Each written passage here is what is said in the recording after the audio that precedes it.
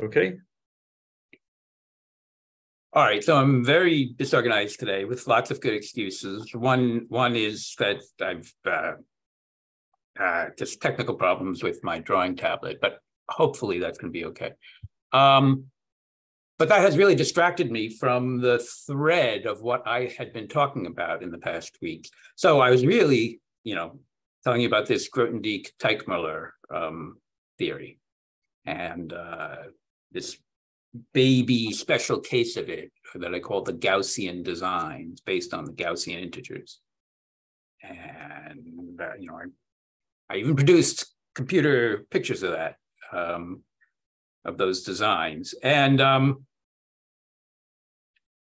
and, and, and at first I didn't really know what I was doing. So I was, you know, just kind of faking it. I, and, and, and I'm, I'm a little bit better than that now. I, I, you know, I know that some of this is actually working. I understand some of what's going on.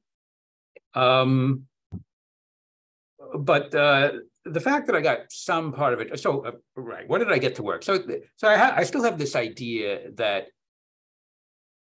Kronecker's Jugendtraum is sort of like a baby, can be seen as a baby special case of Grothendieck-Teichmuller theory. Um, it's it, or it's just maybe, that's the wrong way to describe it, but it's just it's a good example or, or, family of examples that you can use in trying to understand what uh, Grothendieck-Teichmuller theory is about, uh, the, th the theory of starting with Grothendieck's theory of designs or des, dessin d'enfant, dessin d'enfant, whatever they're called. Um, and um, so so you know when when I after I got to to the point where uh, where I was at least satisfied that something was working right, that it really is true that you can view the Jugendtraum as fitting into Grothendieck-Teichmuller theory in this way. Um, that sort of encouraged me to sort of I, am taking a more expansive look now at, at some of the things that are going on here. I mean, it, it's a more expansive look, so I should have a, a, I should have some name for whatever it is that I'm trying to talk about now. Maybe Galois theory or something like that. Um, so one of the things I've One of the things I've been threatening to do at various points is to try to explain to you what the Jugendtraum is. And I've tried that in various ways, wasn't really satisfied with any of the results yet. But um, so what should I try right now? I think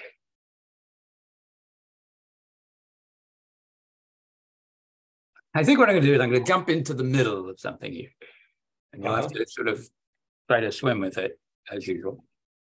And um, it's what I'm going to describe is a false conjecture that I conjectured some years ago. And it's it's really, really false. But I still have the feeling that there's some germ of something, some truth or something of value to be learned from this, um, or mm-hmm. So, so I, am going to describe the conjecture, and it's going to be completely false, but hmm. we're going to think about it anyway and see if there's some sort of way to fix it. So, so the conjecture has to do with ideal class groups of number fields. So number fields, number rings, depending on how you think of it. Um, uh, so you're not sharing your tablet screen. Okay, that's that's that's a good reminder. So uh, this is a good time. I should turn it on right now. So we're why we're okay. Trying to share share screen here. Okay, right, right now. Now we test whether it really works or whether everything's still screwed up. right. This is the yes. Okay, you can see stuff. Well, but can I also write? Yes. Okay. so, um,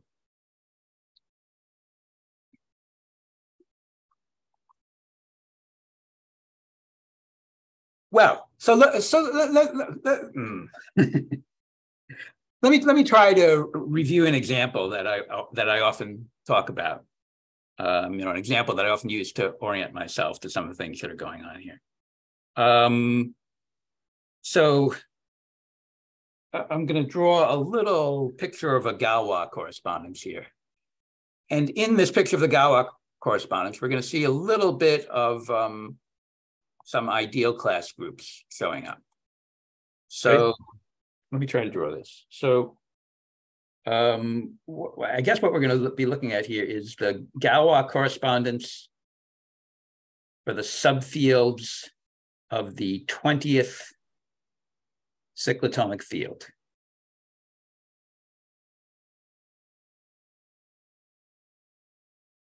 So yeah, I've talked about this before. I think you'll. Yeah. Yep. You might, you might be bored with this already, but uh, so. No. So, so what's going on here? So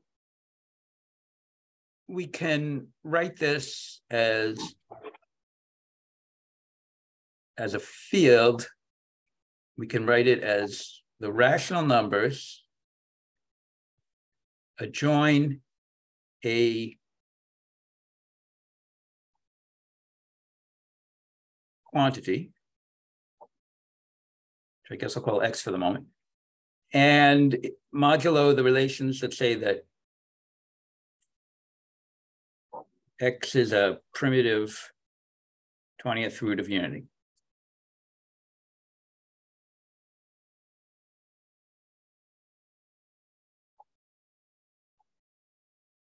In other words, we want to mod out by the 20th cyclotomic polynomial.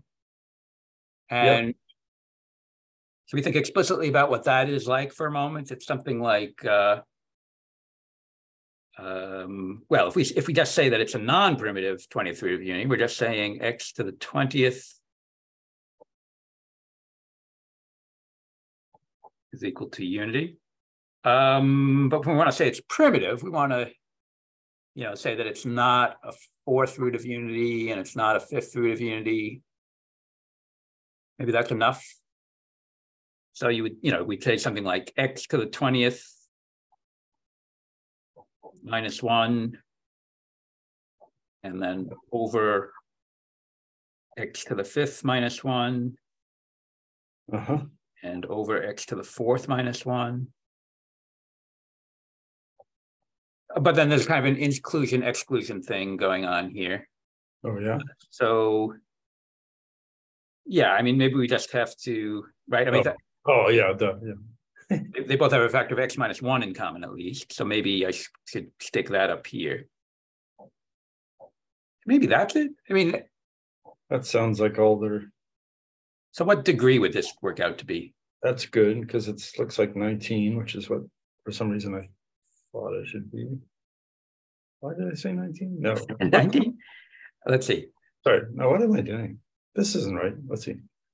Ah, it's X, it's twenty-one on top and it's twenty on the bottom. No, uh, nine on the bottom. Oh, God, I can't multiply, I can't add, yeah. Am I doing this right? Let's see, what am I trying to say? X to the fifth minus one is, let's see. Yeah, well, I really, sorry, I was doing really bad arithmetic errors there. Yeah. So it's twenty-one minus nine.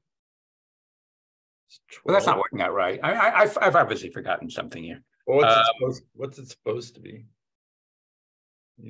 Uh, it's supposed to be eighth degree.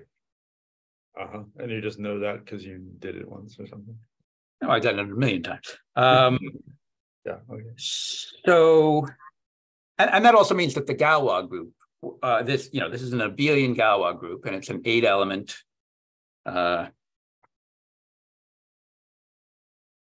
Galois group. And it's, it's in fact, it's the GL one of, um, of of Z mod twenty.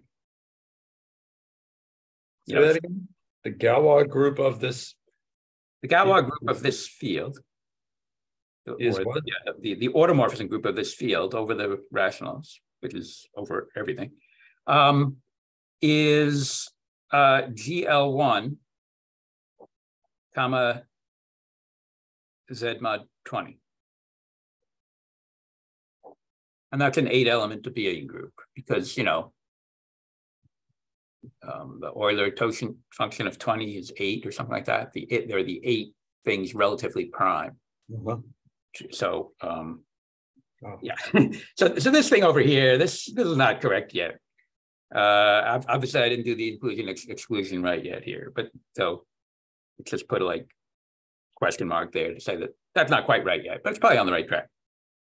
Um, and it also doesn't matter too much. Um, so let's see. So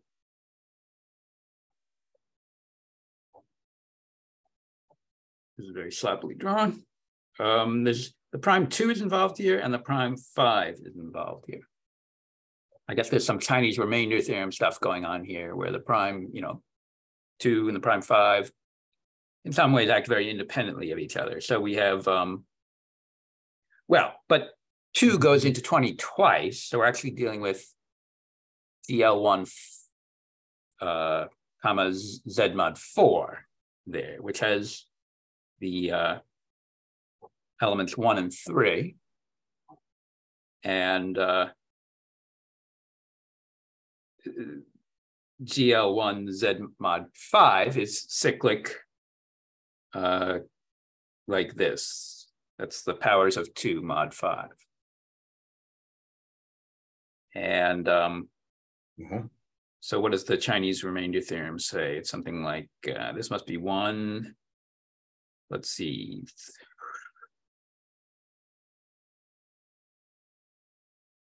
This is maybe three and eleven, maybe this is eleven, maybe? Is that right? And maybe this is seven?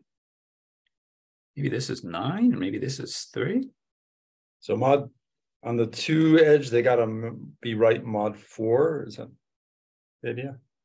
Yes, Uh-huh, that's right. Because four is the highest power of two that goes into five. Yeah. And.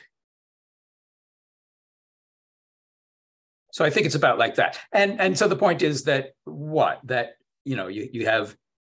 X, you get these automorphisms, X goes to.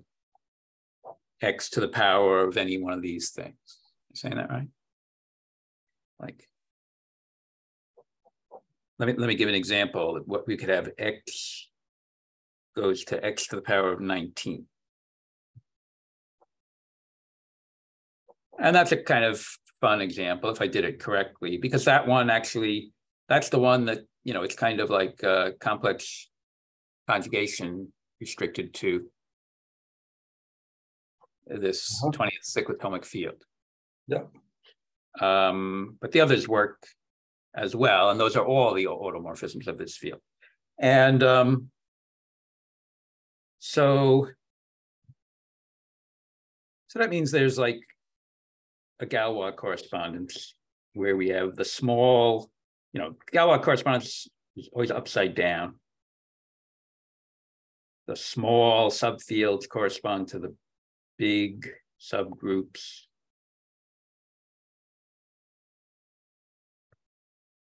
It's fitting in here.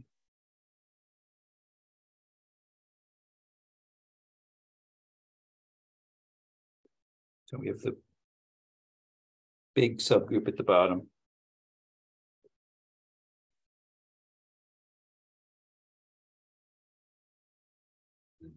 Let's see, it's gonna, it's gonna work out like, uh, I think like this, this, this, this.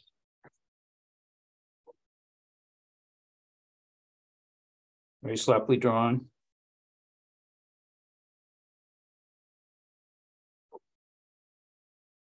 So how does this work? At the, at the smallest one is at the top. Then there are these ones. And mm, I guess it's that. And there's this one. There's this one. And there's this one. And there's this one. So these are the subfields of the twentieth cyclotomic field. And they're arranged in a way, I hope you can sort of see. So these ones in the central column are sort of much busier than the others, like this, this, this quadratic extension in the central column fits into all of these quartic extensions. And this quartic extension in the central column uh, just so happens that it contains all these quadratic extensions. So I think that's sort of the the lattice structure or the poset structure, containment structure. Um, and yeah, so so and and and what are these? So this like this is the rationals down at the down at the bottom. At the top, we have the rationals adjoin the primitive twentieth roots of unity. Am I saying this right? That you just have to right. You just have to join one of them, and you get all of them. Right. Mhm. Hope I'm saying that right. And um, this one over here, if if you, if, you know, if you think about all these, it works out that this one is rationals adjoin primitive fourth root of unity, which is basically I, the, the imaginary unit I. Um, this one is um, the rationals adjoin a primitive fifth root of unity. Saying that right?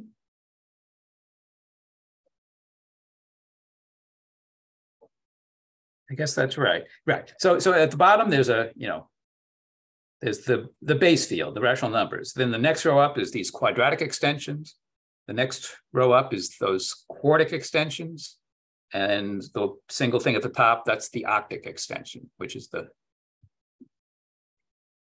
20th cyclotomic field itself. Now, so you know, there are all sorts of things that you, that are somehow you're somehow supposed to understand in a very concrete, pictorial way. Like the ones that I've named so far are the ones that like are just a single row or a single column. Well, am I saying that? Uh, What do I mean? The two you named, yeah, the, the two exciting ones, yeah.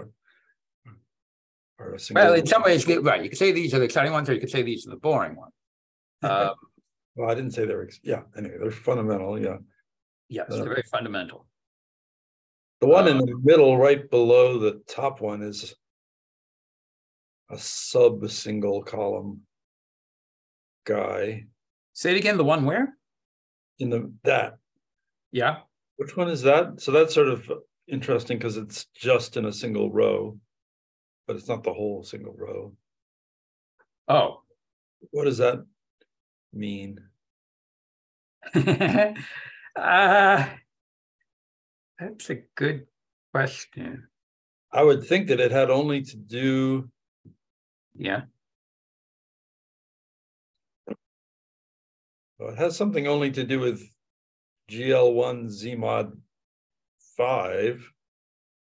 But because the column is about the column is labeled five, but but but the fact that the column is labeled five is what's making the the extension with all the dots in that column be Q with a fourth root of unity adjoin. So there's this kind of yeah, duality. yeah, that's, that's the usual kind of thing where the x-axis is where y is constant or something like. Yeah. So I'm Uh, sort of What? So I'm just sort of confused about that one that I got you to point to because because I, well, it seems like it should only have to do with a fourth root of unity somehow. But that's can't be right because Oh, well, I, th- I think, aren't you just kind of like upside down again? Remember, the Galois correspondence is upside down, so this is you know, a bigger oh. field. Oh, okay, Fourth root of unity. okay. So it is actually fun to work all of this out from first principles, but we're gonna do Yeah. it much, Yeah, unfortunately, I don't have some old notebook where we- I think we. Right. we- You ran us through this whole chart, yeah. Right, right, right. Okay, I'll just resist, uh, okay, sorry, I was hoping Um, you, You, you can bring up all Okay. sorts of things. Well, I, I might not have very good answers for some of them, but. we'll- I was just hoping you'd tell me which one that is that you're, well, you, that you were pointing out until I started. Yes, I, I, I am gonna tell you, but in a, in a, in a. f- I, I'm gonna tell you what these quadratic ones are first. Okay, Sure. So sure. I think this one is, because that will, you know, the, this quartic one will just be the compositum or whatever they call it of all of those.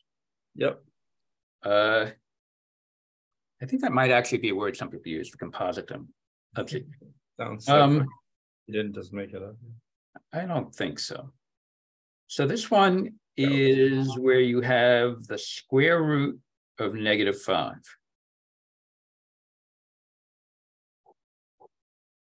This one in, in the middle on the bottom is the rationals adjoin the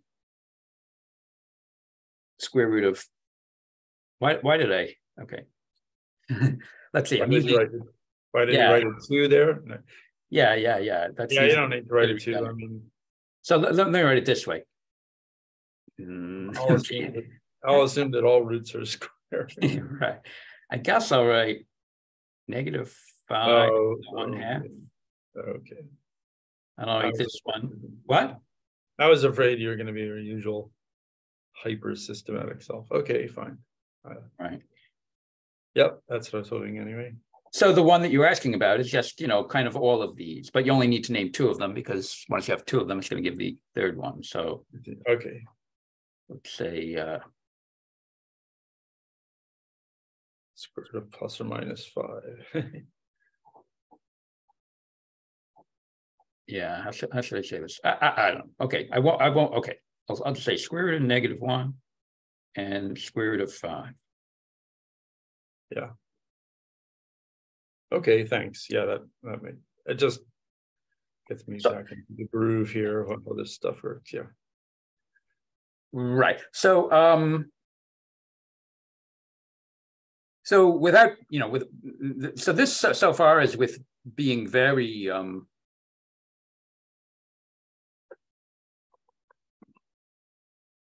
Not, not, but, but, you know, not putting, not, not putting in a lot of effort into any of this yet. This is, uh, already showing us, uh, very concretely what these are, except for this one over here on the upper left. Yep. And I'm not sure that one has any snappy name like the others. Um, it, well, you could, well, you could say, you could just say it's the real part of the twentieth cyclotomic field. So I'll say that. Okay. That's, But, you know, if you want to give explicit quantities that generate it, there are that, you know, they're less famous. uh-huh, But I think Ramanujan, Ram, Ramanujan, I've, I've, I, I can't remember how you should pronounce that. Um. Talked about this field. In his original letter. To Ah. Hardy, I think. Um, don't trust me on that, though. We should maybe investigate that somehow. So, um.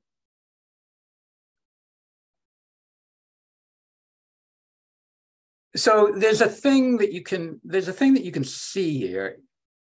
Like I said, I, I, I made the claim that you can see, and I hope I'm, you know.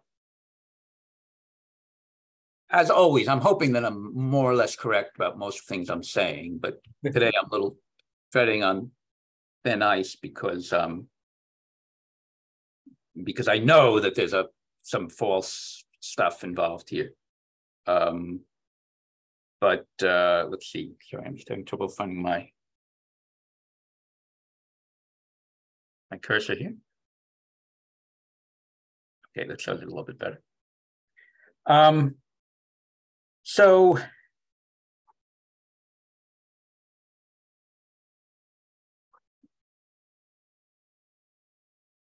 let me tell you where there are some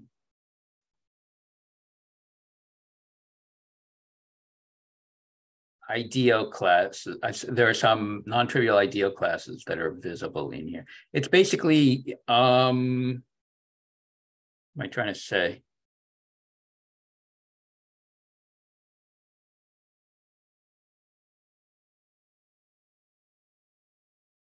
Maybe it's basically with this extension right here. There might be another one somewhere.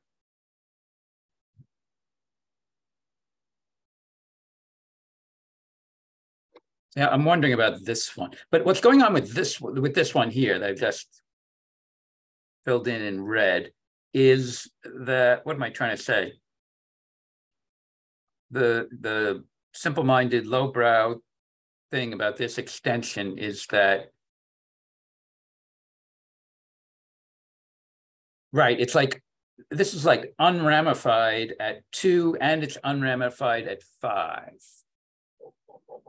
And I think it's also unramified at, you know, the Conway's prime negative one, but that's probably less visible in this picture because we didn't have an explicit axis for negative one in this picture. So I think this one up here is also unramified at two and unramified at five, but I think it is ramified at negative one. Um, I'm a little bit confused about that, but I think that, you know, because it's going from the real part of the field to the to the whole Mhm.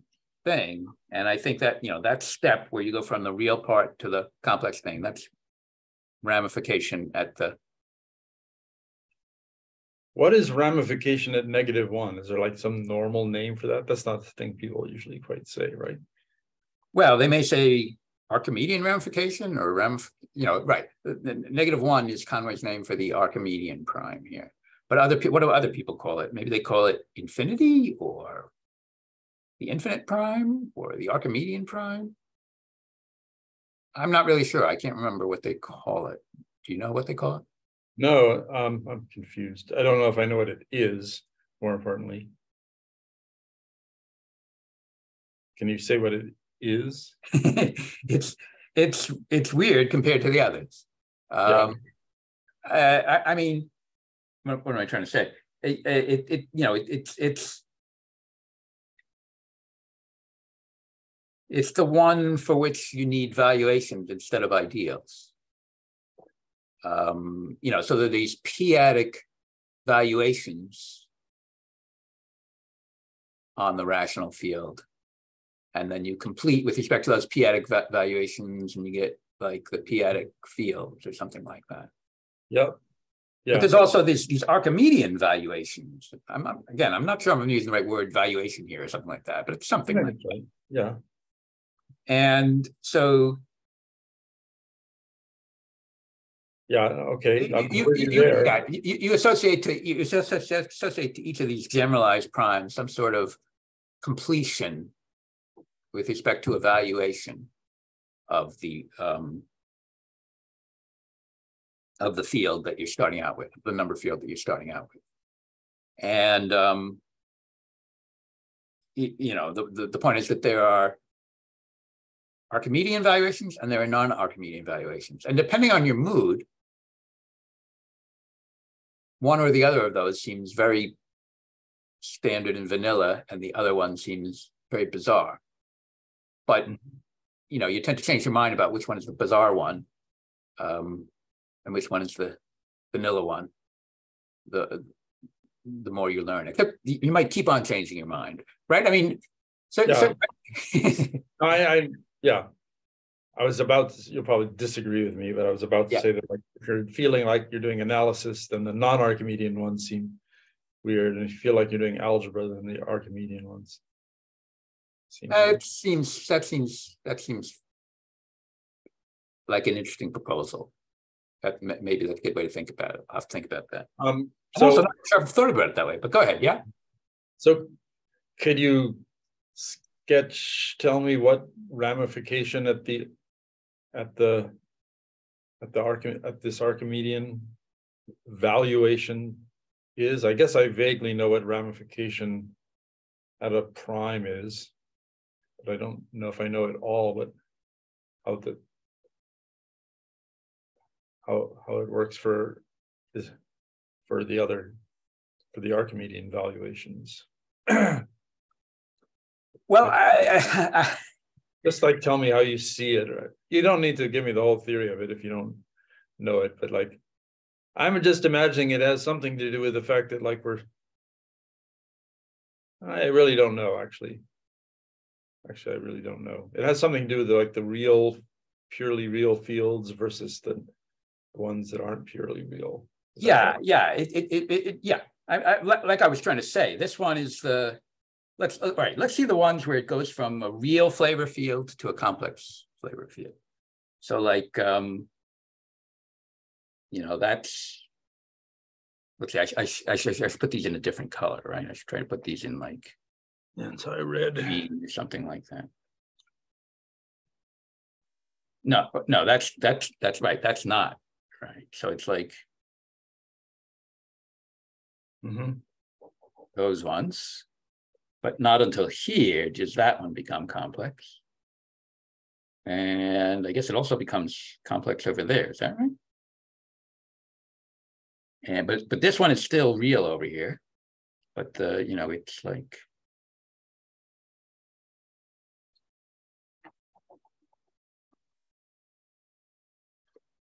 So is it true that every path from the bottom to the top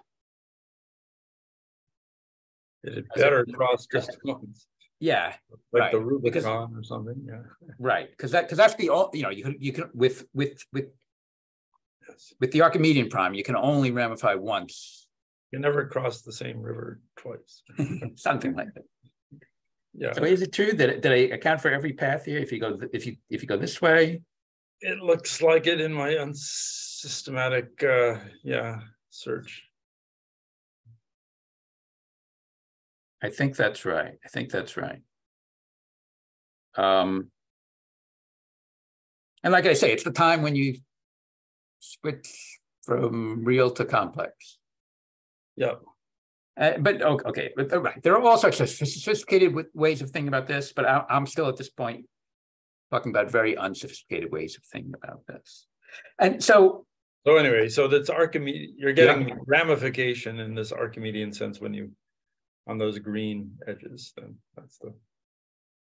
That's, that's. yes, that's the Archimedean ramification extensions. uh-huh, That's right, okay, in this, in this correspondence. That'll do it for now, yeah. And um, Mhm.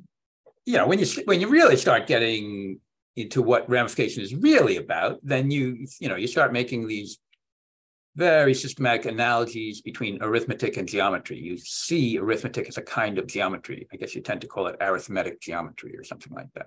But in this arithmetic geometry, there are things that are like covering spaces, but they can be like branched covering spaces, and that branching is the ramification. Um, so, you know. Uh, ramification of number fields is a kind of cryptogeometric form of uh, of of the branched covers. And um, right, so what right what branch covers do is they sort of, you know, if you're working with like branch covers of Riemann surfaces or something like that, they kind of violently expand the fundamental group that you thought you were dealing with, um, right? Because by, you know, the branching sort of treats the the topology of the Riemann surface in a somewhat violent way, and um, you know, you thought you had a particular fundamental group, but these covers that are branched there, it's like, you know, you have extra things that involve moving around a point, loops around a point, which, you know, you thought you couldn't go around a point. You thought that was like a contractible loop, but the branch covers. Right, So again, I'm, I'm not saying things that really make sense yet, but I'm just trying to give hints about the intuition behind these things. are the ones, sorry, you can Yeah. stop me if I'm digging. Yeah, go ahead, go ahead. Bar, but can I like see? Can you like show me which uh, ones are ramified? At two or at five? Yes. Uh, I, yeah, I think we can. and again, there should be like a, you know, a sort of conservation law or, or something that says that it's independent of path, the amount of ramification. Uh -huh. Yeah, I was hoping, hoping so. So, oh yeah, and, and, right, and in fact, and and right, and I have been trying to say that there's a very lowbrow way of thinking about this. So you just look at um, when you want. Let, Uh, am I saying this right? Again, I get mixed up whether the rows correspond to two and the columns correspond to five, or vice versa. We'll have to figure it out. So let's look at where the left-hand column shrinks in some way. Okay. And that's probably going to be where there's ramification of five, I think, or something like that. Uh -huh. So, you know, we're, we're going like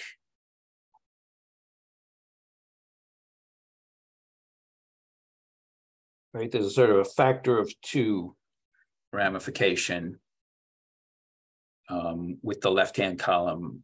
Let's see, maybe, I, am going to try and draw it more clearly which arrow it's attached to.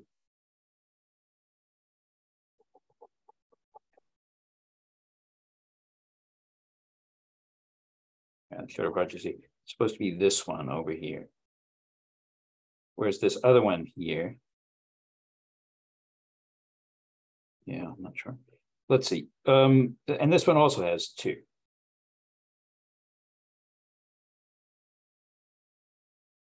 So yeah, I guess you multiply the numbers along the path and they should, the conservation laws that it should come out to be the same product. Um, so let's see. This is still just, you know, one. Uh, this one's two, let's see. This one, yeah, what is this one? This one also looks like a factor. Both of these are factors of two, is that right? Yeah.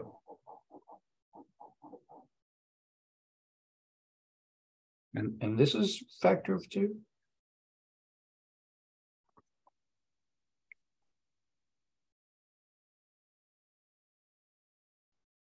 And the and the upper right green is also no that's a factor that's just one. Oh, upper right you said yeah, well, yeah. upper right green, the most upper right of the green edges is also a. Yes, that's a 2 mm -hmm. Okay. Okay. And nothing there. You think that's you think every path now has a four? That Sounds like it should. Sounds like it does. I think that might be right. And um, so what's that? I need another color here. I have blue, red, and green. I don't know, purple or something like that. So this is going to be for the. Well, first of all, we did we decide what the blue ramification was? Did we decide it was five or something like that? I think uh, it's going to be two because two no. Ah. Yeah, I think it's five. Well, that's my guess. But what were you saying? Okay. You know, because it adds, it adds up to a total or multiplies out to a total of four, and that's the size of the multiplicative group of Z mod five. Okay. Um, okay. And yeah, okay. Yeah. So the, the other one, I think, is where the yeah, top okay. row shrinks. Right, yeah, okay, no, that makes sense. And that would just be, uh, I ran out of colors here. I can't draw this one. huh? Let's see, uh. It looks like there's a two right there. Oh, and there's also a two right there.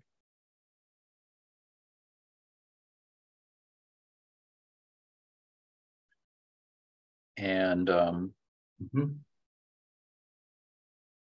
Yeah, what about going from, oh, and there's a two. yeah, right there's some, yeah.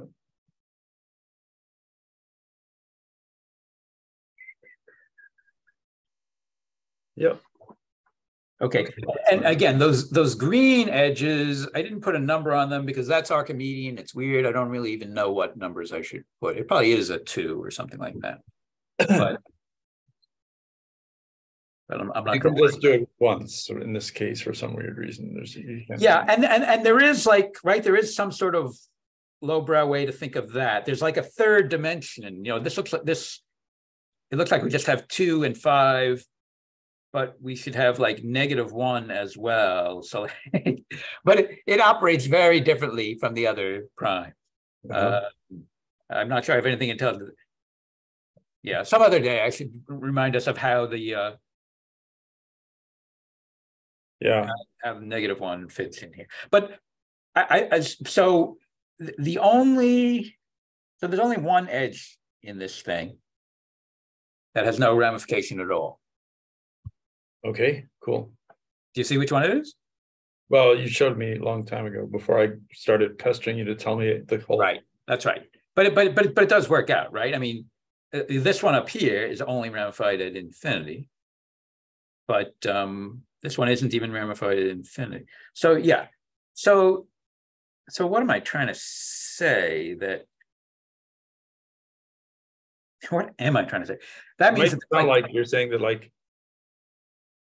Each time you go up, you either get ramification or else something else has got to give. And one way to see that something else is gonna give is that the. Something about the ideal class group. yeah, I mean, it's something like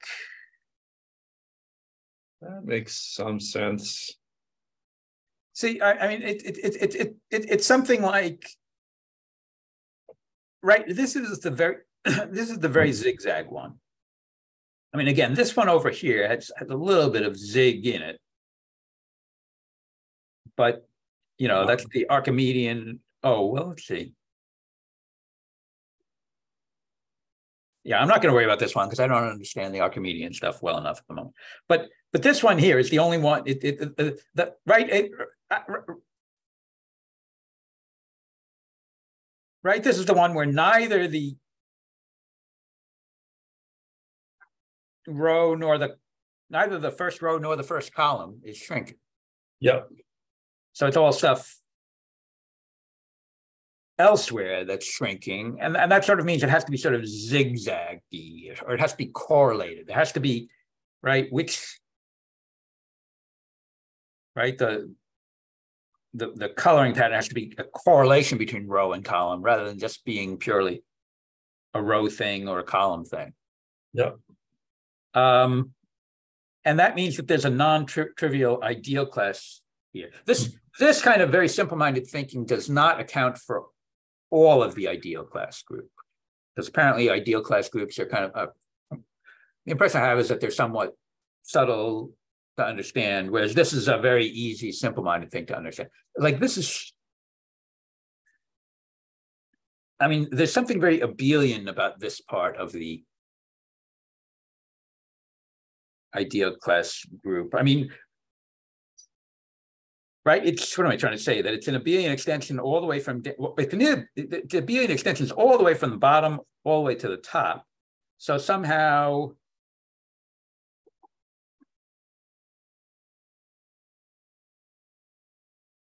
I mean, right, the, the Hilbert class field is supposed to be like a maximal unramified extension or something like that.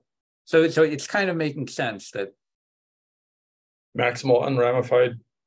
Abelian extension or, or just. Yeah, okay, ma- maximal unramified abelian extension, yeah, Mhm. yeah. Um. So, okay, I, I guess what I'm trying to say, right, I'm doing, doing a bad job of this, but what I'm trying to say is that there's a very concrete example here that we can look at of a, um, of a non-trivial ideal class. And, um, see, I thought, I thought this was working so great and now I can't see where the, I'm looking for the, oh, maybe it's like this, okay. Okay, there it is. Well, One thing right, that- what? One thing that I'll just read, maybe you'll get around to this, but one thing I'll just register. When you Yeah. say ideal class group, I think of that as attached to a single number field or number ring, but you're talking about two here with that big fat red edge connecting them. And so I want to find out eventually how, when you say we see a non-trivial ideal class group, then like why it's why it's like Well, tying together. Because remember that ideal class group is a little bit like a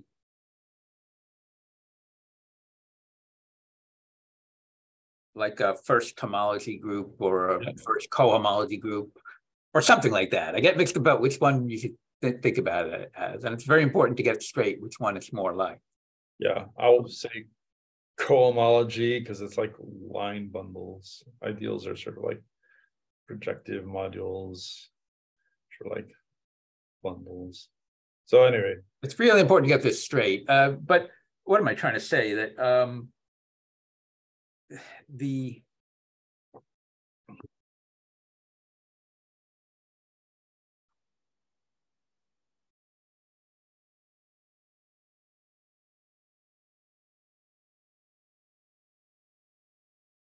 All right, so what was the question? The question was what? Um, the ideal class group is Oh, right. Why am I talking about two Oh, fields? Right. So we're talking about, but, but, but, it, it, but it's the same, it's the same thing that it's the, it's, you know, it's, it- the, the answer to your question is just think about the homotopy theory and, and uh, analogies. And it makes sense because when you have a non-trivial fundamental group, it means you have some covering space. And, you know, so that's what's going on here, that, you know, this, this extension, this is, this is the thing that, had that, you know, this, this is the, thing whose spectrum is is morally not simply connected. Mhm. and this extension is this you know the spectrum of that extension is the thing that is like a, a, a cover and in fact like an unbranched cover. So a you know a, a true topological cover of um of, of this of the spectrum of this so that's a that's a a simple-minded answer, relatively simple-minded answer to your question. Not a complete answer, but hopefully that's good enough for now. Right? Yep. Now, so now, yeah, now you're getting me, yeah, you're getting me more. That's good, but in another way, it's getting me more confused because now it's making me think. To want to take back my answer and think, say that like now I'm wanting to think of the ideal class group as like a first homology group is like an abelianized fundamental group. Yeah, I mean, I, it, it's it's so important. It's so important to get straight whether it's when or whether it's more like homology or more like cohomology. And I'm So just you're, so you're I'm- getting an unbranched abelian cover. Here, I guess. yes, yes, Mhm. Yes.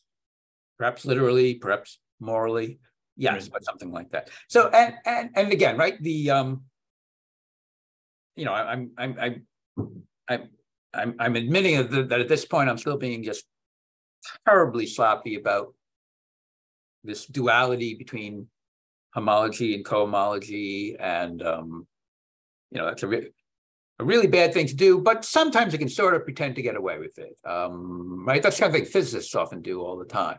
Sure, yeah. yeah. Um, they blur the conflate the thing and it's dual sometimes because they imagine that they have some God-given structure and they're usually wrong. But um, but I'm I'm kind of doing something. I'm just being very, very sloppy about this. And it's really important to eventually be not sloppy about this, but we'll see how it goes.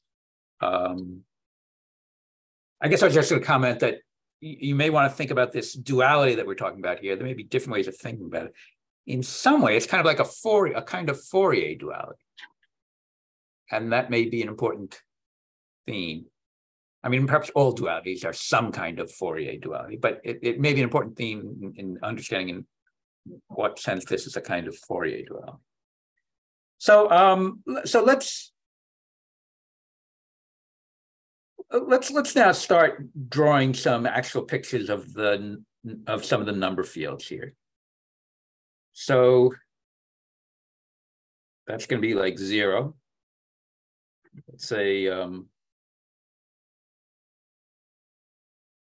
let's say that's one. So, oh yeah, I'll circle the origin there. That's zero, one, two, Negative one is like over there, I guess. So that, right, this is the one where we have the square root of negative five. So the square root, no, yes, square root of negative five is about 2.2, roughly speaking. Uh, and then it's square root of negative five, so it's in the imaginary direction. So,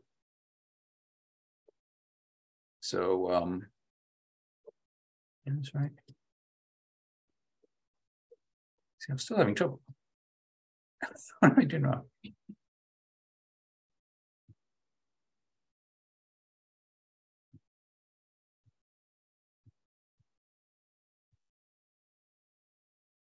I screwed up here.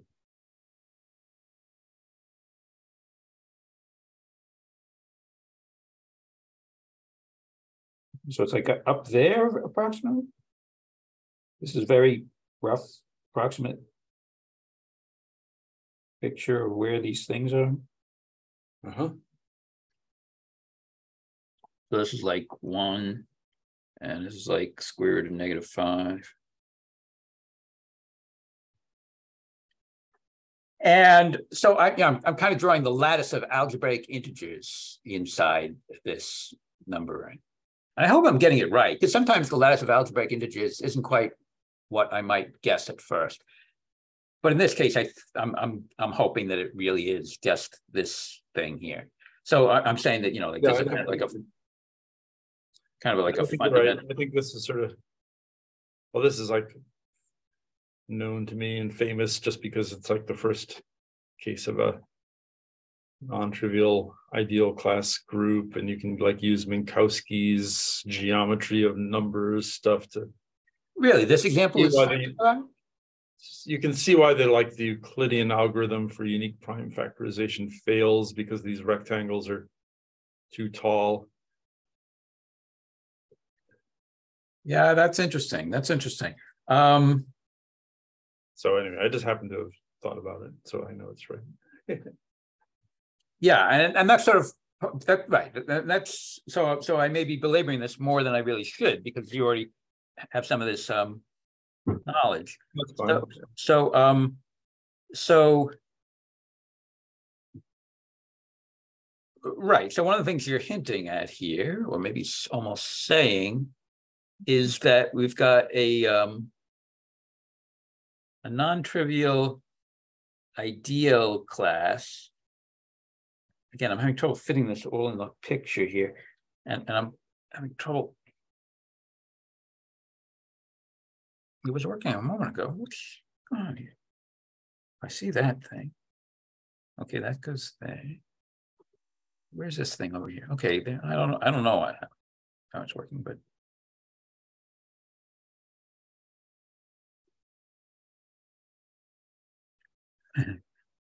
All right, all right. So let's see. So one, two, three, five, six, seven, eight, nine, 10, 11. I hope I'm doing that right. One color. One, two, three, four, five, six, seven, eight, nine, 10, 11. Okay, I think it's there. And there. And there. This is all very approximate. These are irrational numbers, but I'm sort of drawing them as they might actually be rational.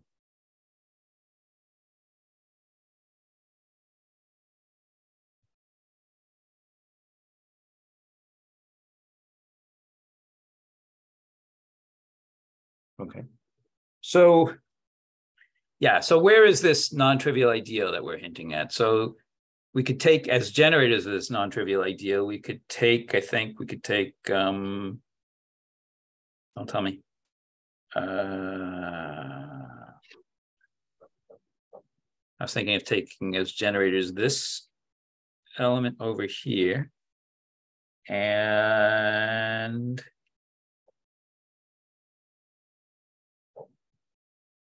Maybe this element over here.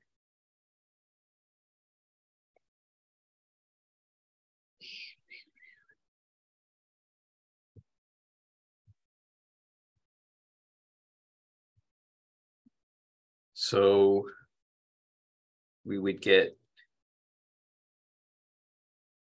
you know, this whole, right, maybe I'll sort of try to circle the generators there. But we get this whole.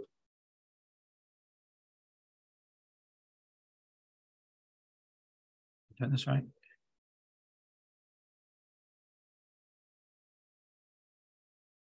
Can you get a sense of what it looks like?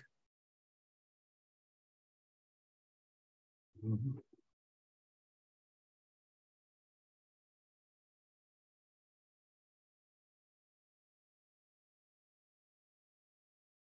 So where is it? It's like there. It, it's it's yeah, it's kind of there's something vaguely checkerboardish about it, but in this, you know, see, I guess this one is down here. So does this seem right that this really is an ideal? It, it, it, this lattice is closed under multiplication by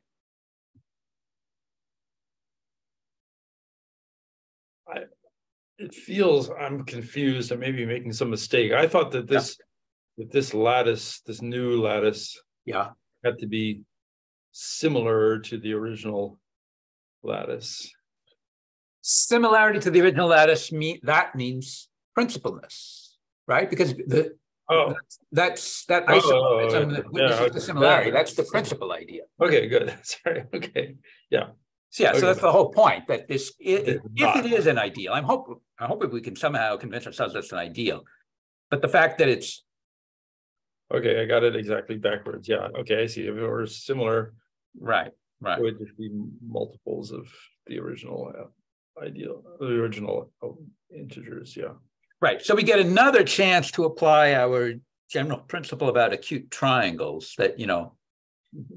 the the um the whole ring of algebraic integers as an ideal in itself or as a fractional ideal in the field um, has you know this acute triangle that's like a right triangle that's like a fundamental acute triangle. Whereas this other one has a an isosceles thing.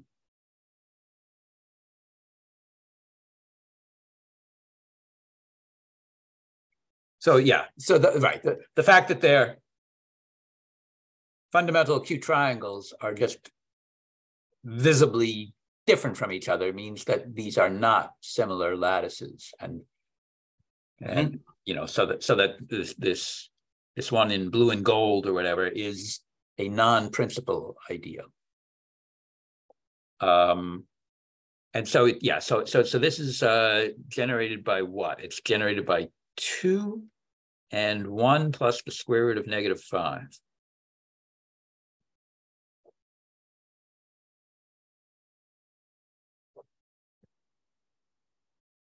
And um,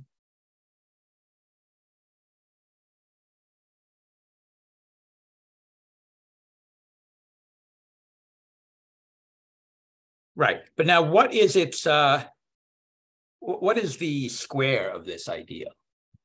So let's see. Is, I, I, does it seem right that the right? You can think of ideals in these because number rings are Dedekind rings, whatever that means. Um, that means almost all the ideals, any non-trivial ideal in some sense of non-trivial, is an invertible module. Mm-hmm. Uh, and, and that's an invertibility under you know functorial tensor product. Um, that's when I said line module, when I said projective module a while back, I meant I should have said invertible module. I was I was saying ideals are body ball modules and they're yeah invertible module. Uh-huh. These right, case. but in particular, you know, in, invertible is the one-dimensional special case of being a projective module. Yeah, that's right. That's right. That's right. Um, and um, so we've got uh, so we've got yeah. So I I think that does does this seem right that uh, when you think of these invertible ideals as invertible modules, that the you can think of the product as kind of the, the tensor product. Uh-huh, I think you're right, yep. So if you know, if so, so for example, if if we if we take if we take this ideal over here, and if we square that ideal, and if we get um, a principal ideal, then that means that this non-principal ideal is order two in the ideal class group.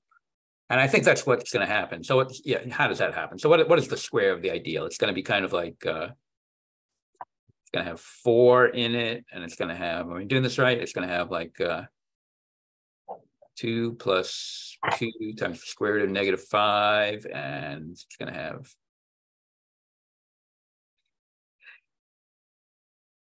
negative five in it? No, it's going to have, yeah, I get, mm, no, what am I trying to say? No, the whatever the square is of one plus the square root of negative five. Um, can you figure that out? yeah, it's negative four plus two. That sounds right. The square root of negative five.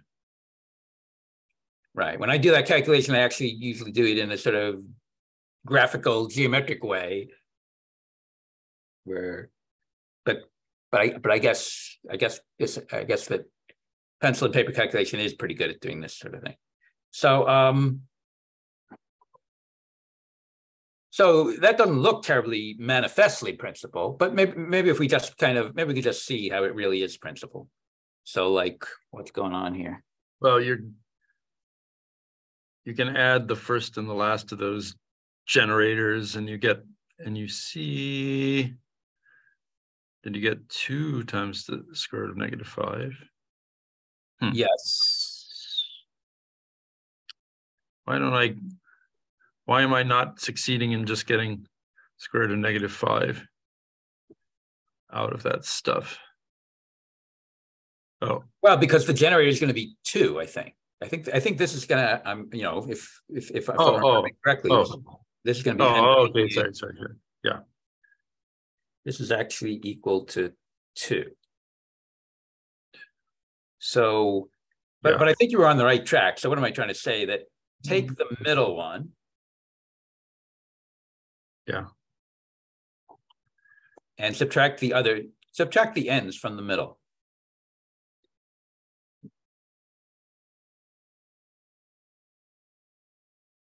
Subtract. Right. Or in other words, take take the sum of the ends and subtract that from the middle. So the sum of the ends is just two times radical negative five.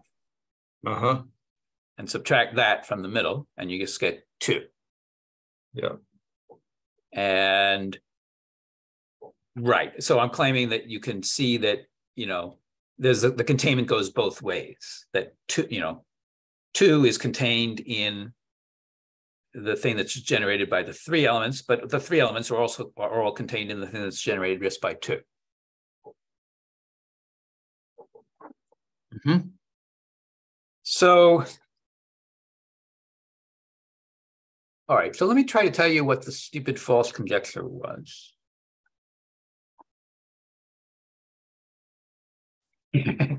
right, maybe I'm going so slow because I, am not enthusiastic about admitting to this really stupid false. No, no, no. Anyway, it's been good to review this stuff. I like this. Sure. I haven't thought about this kind of number theory for a long time. So, uh, but anyway, don't. Anyway, it's fine to say the conjecture is false. It's not embarrassing. You're only embarrassing if you act embarrassed because that, that's like then you like sort of admitting that you thought it was you ever thought it was All right, something like that. Um, right. I still think there's something to be learned from going through thinking about this false injection. For me, there's something to be learned at the very least. So um,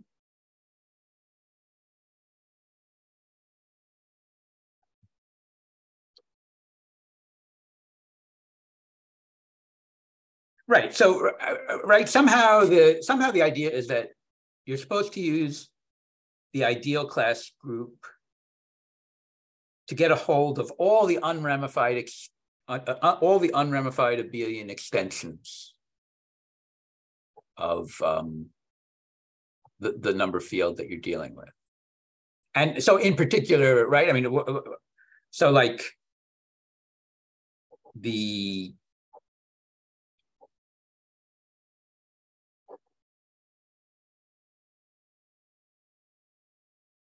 the, the so-called Hilbert class field. That's supposed to be the unwrapping that boy there's right some of these analogies i don't completely understand but um it's it, it it's it's i want to say it's supposed to be like uh, some version of a universal cover, maybe a universal universal unabe universal unramified abelian cover or something like that. Yeah, I think that makes sense. I think that's what it that's that's the thing. I hope it's something like that, but sometimes I get confused about that. But it's it's certainly something like that. And and but then that field, that Hilbert class field, is going to have all of its subfields, the Galois correspondence for all of its subfields.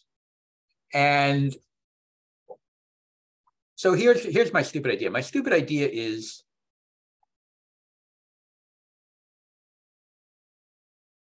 my stupid idea is maybe we could get all of the fields that Maybe we could get all the subfields of the Hilbert class field, including the Hilbert class field itself, just by sort of building them out of these ideas. Out of out of things in the ideal class group? Out of representatives of the ideal? Yeah, yeah. I, I mean, right. So is this the I, false conjecture, by the way? Or you sound like you're starting to believe it, whatever it is. No, no, no, it's false. But it's, okay, okay. But it's but it's a tempting false. Okay, yeah. It seemed like such a good idea at the time. Um, but but you know, there's there's massive things wrong with it, but it's still it's an interesting thing to try. So uh, do, do you see what I'm saying? I mean, I'm I'm saying that you could like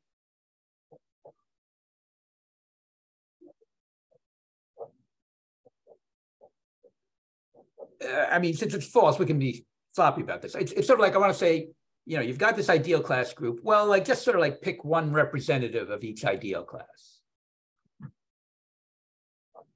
Uh-huh. And now take the direct sum of all those representatives. And my and and my idea was that that direct sum would sort of become the algebraic, the ring of algebraic integers in the Hilbert class field. Because it, right, it's the right size. That direct sum is the, is sort of the right size, the right dimension. I'm uh, I'm confused. You're taking a direct sum of of ideals ideals. And I'm going to make the, I, am claiming that there should be a, I'm claiming that there should be a sort of semi-obvious way to make that direct sum into a ring. Wow. I don't, so it's a module of your original ring of algebraic integers. Because it's a direct sum of modules, yes. But then you're trying to give it a ring structure. Yes, and and you know, if I was really trying to get this to work, I know it's not going to work. So the, again, the fact that it's not really going to work right sort of makes me feel like I have permission to be very sloppy about okay trying to pretend that it's going to work. Uh, but but um, right? I mean, you know, suppose you're in. Suppose you have an. See what what I'm trying to say is that this is going to be like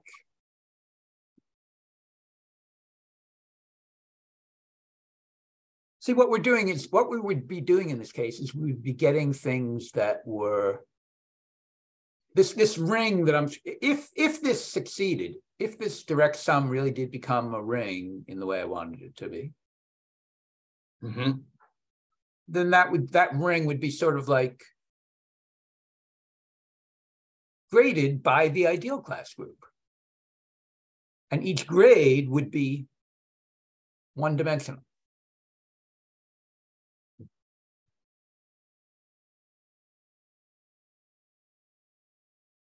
Why is it one dimensional? Because each, each ideal class is, is an invertible module. Each ideal is, is, each of these ideals is an invertible module. Okay, I see. I see. So you know, is it, let's see. So Yeah. let's, see. yeah, so I mean, it's supposed to be true that the Hilbert class field as a field, it's a vector space over your original field and your, and its dimension. Is this true that its dimension is the size of the ideal class group? Yes. Yes. Um, You know, if I'm not screwing up, yes. And so there I was talking about fields so that I could talk about dimension. But then you could also look at the algebraic integers of the Hilbert class field and you could. It is a module of the algebraic integers of the original field. Because it, and to, is it true that it's like a it's like a sum of is it like a, is it like a free? Uh, is it like a free module on? So- One generator for each, Well, again, we're, we're, sort of moving back and forth between the field picture and the ring picture, but yeah, so I was starting out with the field picture, because, because it's easier, because Coarser, depiction is easier. Right, so let's think about that. So yes, I mean, yes, I mean, there is this thing called the, the Hilbert class field, and it's like any of these abelian field extensions that right, any of these abelian field extensions, I hope I'm saying this right, uh, ha- it, it has you know, maybe there's some technical assumption that I'm relying on, but I don't, think I'm relying on too many technical, important technical assumptions. Um, so it's, it's right, that Galois group acts on the that a- Galois group acts on the th- this this extension field. Yeah. And, and in fact, it, it acts on it in such a way that you know, so this so the, the, this this automorphism group is a is a is a finite abelian group, Mhm. and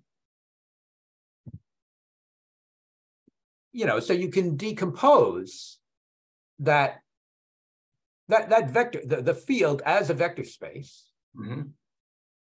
You can decompose that. Mhm. let's see, let's see. I mean, let's pretend, let's right, let's pretend for a moment that this, let, us pretend for a moment that the, the, the, the vector, that the, that the, that the base field that we're dealing with here, let's pretend from the base field that we're dealing with here is,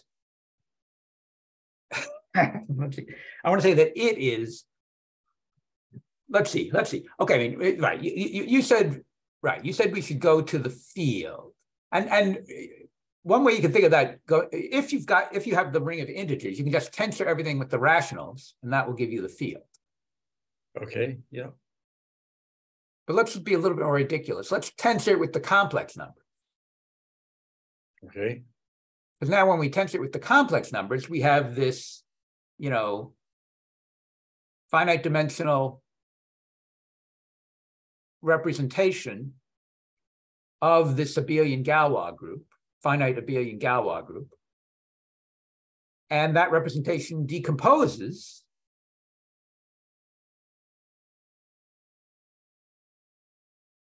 you know, just like the into irreps, Yes, and and it's it it composes like the the regular representation. Oh.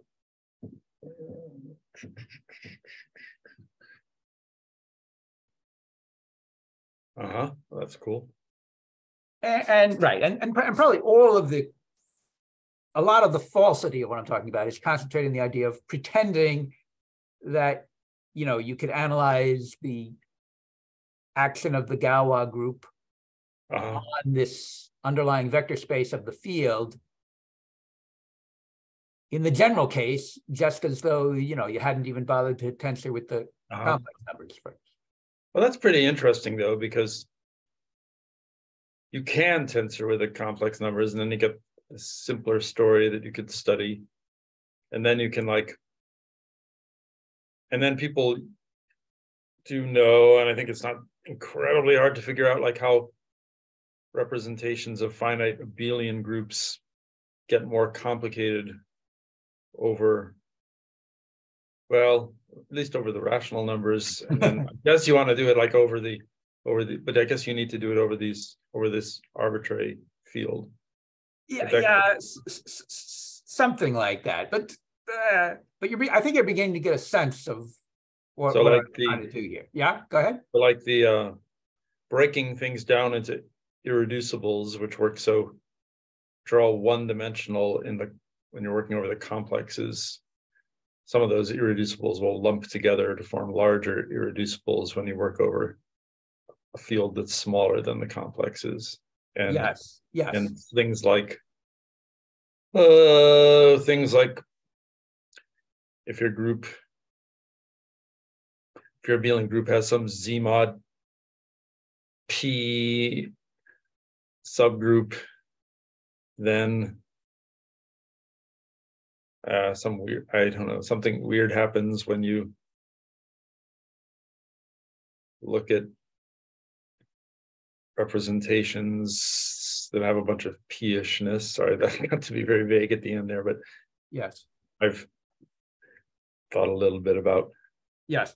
this kind of thing. So one of the things, one of the simplifications we can try to take here is like we could just focus on quadratic extensions and these Galois groups that where Mhm. everything is just a, abelian Galois groups where everything is just ordered two.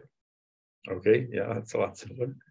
And yeah, and in particular is, you know, that this, in, in that case, this action and this decomposition works perfectly, you know, already at Q. Right. Because the square roots of one are in there already. That's right. That's right. That's right. So, so, so that, uh, you know, and, and, and these examples that we're playing around with here on the, on the screen are, are, are like that, that, you know, we're, we're looking at, we're, we're, we're, we've got a lot of quadratic abelian extensions, so Mhm. we can try to get away with, you know, not having to worry about some of these subtleties about Uh-huh. analysis. Yeah, now it's slowly coming back to me. So part of what so one fun thing is like you can look at the irreps of Z mod P Yes, and they so like the the irrep that you most want is the one that where the generator of Z mod P acts the well in the complex case the the sort of fun, fundamental irrep of Z mod P is the one where the generator of Z mod P acts by multiplication by a pth root of unity. And and so then asking like oh can i do i have that irrep available to me if i'm working over some subfield of the complex numbers? The answer is yes if the subfield has that pth root if and only if that pth root of unity is in your subfield right, right. so like with the one that we're looking at, well, like with the whole big story that we're looking at, you'd be like especially worrying about like things like whether the whether the 20th root of unity or the fourth root of unity or the fifth root of unity are in the subfield that you're currently studying meaning like you're climbing up this ladder again well we're just like looking at one rung of the ladder and in that run one rung of the ladder your smaller field it does not have a fifth root of unity in it And it does not have the square root of unity. Sorry, it does not have the fourth root of unity in it either. Right. So like you're likely to run into trouble trying to mimic what you did with a complex numbers starting from this smaller field. Yeah, I suspect. Right. So quadratic just- just quadratic extensions. Oh, well, quadratic extensions should be okay. Yeah. Mhm, Yeah, Yeah. yeah. And you're dealing, you're dealing with a quadratic extension here, right? That is this particular Yes. unramified extension. It's quadratic. So, okay. Yes, yes. So, yeah, so. Oh, are you saying that like your false conjecture might be true in this case? Because nothing bad? Uh, I thought it might be, but I, that's not correct, quite correct either. So, but I'm not sure about that. Um, Okay. so, uh, um, so, so what am I trying to say here? So, well, uh, well, so, so let me try to rephrase some of the conjectures here, which are still supposed to be false, but so what am I trying to say? So there are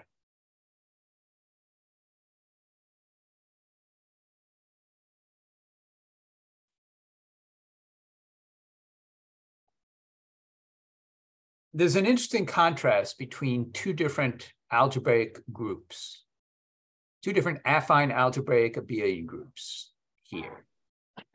And one of them is, I guess, maybe sometimes people call it C sub n. And it's the affine algebraic group of, uh, affine algebraic abelian group of uh, nth roots of unity. So, you know, like it's, so, you, you know, you get an affine variety and there's a commutative ring and it's just, you know, it's just like, uh, I guess we're actually doing this over the integers, I guess. So we're taking.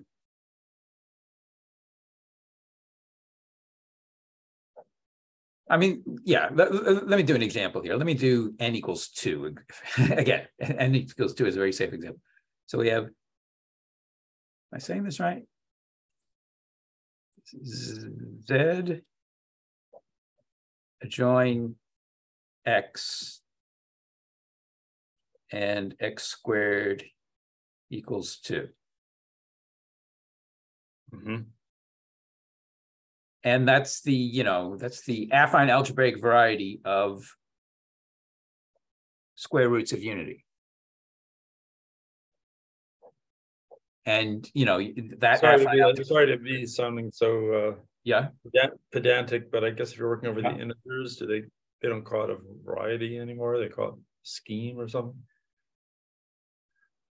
uh, maybe, Okay. I thought variety meant field, but whatever. yeah, yeah, you, no, you, you, you could easily be, be right. Okay,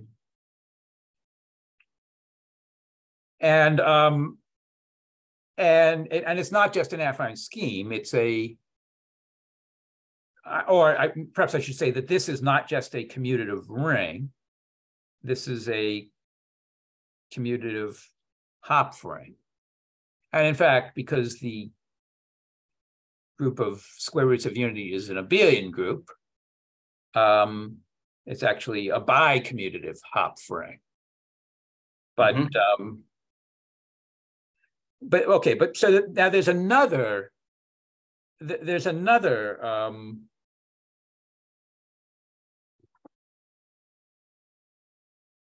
Affine algebraic group, or maybe we should say affine algebraic group scheme here that we can deal with, which is a little bit different. Um, it's uh, as a commutative ring, it is z squared.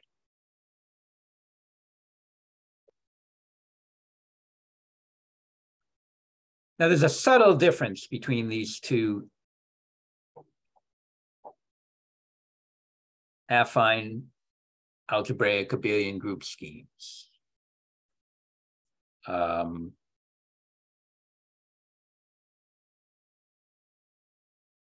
can you sort of see what the difference is? Yeah? How are you making? What's your group structure for the group scheme structure for Z mod for Z squared? Is it sort of the same one? I mean, it's just it's it's just the fact that it's it's like a it's like a discrete two point abelian group. So I mean, it's like okay, you know, you, you, you know, it, it's it's kind of the it's it's it's it's really it's really living on this exponent two is really where the group structure is living, but it just Okay. gets transported in. okay, no, I don't see what the difference between these is then. They're the Well, same I- ring, right? And they're the same, No, they're not the same ring. oh, what? They're not the same ring. So this piece of graph paper here, you know, I've sort of Oh, wait a corralled it, a small part of it here, but that is Oh, they're like, wait a minute, uh, so, yeah, so like in one of them, if you. Ah. So is it like the difference between? Functions on a two-point space? Where you multiply the functions point-wise? And functions on a two-point space? Where like. One of those points is zero and one of them is one. And when you multiply the functions on it, you gotta you gotta say that like the function over one times the function over one gives you a function over zero. Sorry, the, the delta, the, the Kronecker delta at one, one squared is the Kronecker delta at zero. I'm not sure I follow this second description. Um, so Uh.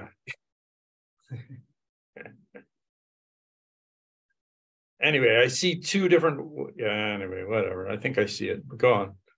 well, so let- so let me try to let me let me let me try to um I thought I just said it, but whatever. well uh, okay uh, maybe you did okay but let me ask you so I mean I think there's a homo there's a homomorphism in at least one direction here and maybe it's only going this way Oh, boy. um you know because the generator here x could go to one comma zero. But it could also go to zero comma one. No is that am i saying that right? No that's not correct right okay i said that wrong.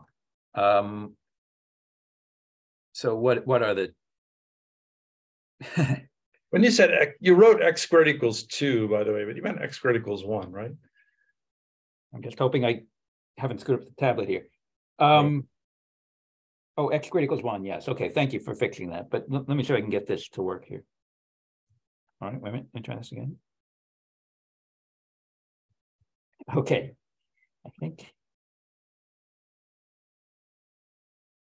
All right, okay, let's try, try use the eraser a little bit, okay. Let me try and use the. Okay, so you just corrected me to say that this should have been x squared equals one all along. Yeah, I just, I read it as one, because I knew what you meant. What you said. Well, still, you should point these out. Yeah, yeah, no, I just, I suddenly.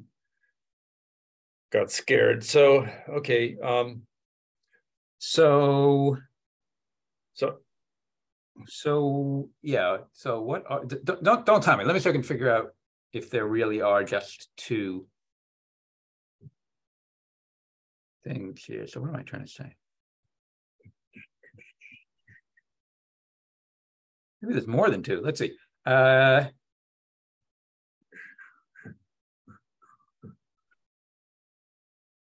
can I say what some homomorphisms might do, or you don't, now you're not gonna let me? And I actually. Uh, go ahead, started go ahead. Things too well, then you like shut me up. So- Cause you want to stay ahead. So anyway, so, so X. Has got to get some, set to some pair of integers that squares to the, to one comma one, right? Yeah, but you know what, maybe what I should really say is maybe we should look at the homomorphisms from here to just to Z. And then, you know, from, as, as soon as we know what the homomorphisms are from to Z, then we can put those together, we can pair Okay. those together to get homomorphisms to Z squared. Okay, it sounds good. So there should be two of them. Yes. And, um, right, right now it seems pretty easy to see that there's x goes to one. And this x goes to negative one. Uh-huh. And so what does that mean? What does that mean? They got Um, four of them. To to. Four of them, yeah. Are they, are all, oh, but so, okay, right, there are four of them, but, but, but maybe there are only two interesting ones. Two, of two of them that are, you know.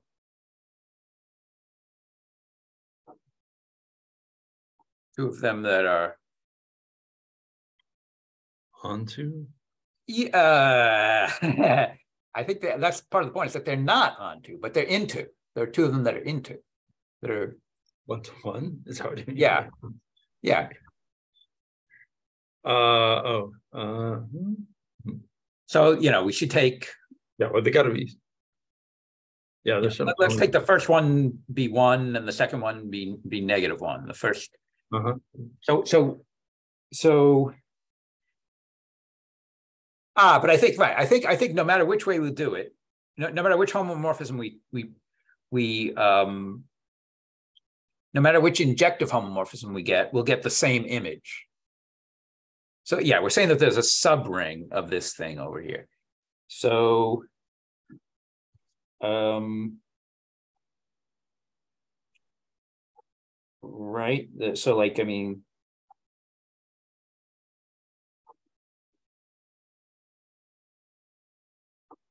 Yeah, some, So, yeah, which ones are, are in this and which ones aren't in this?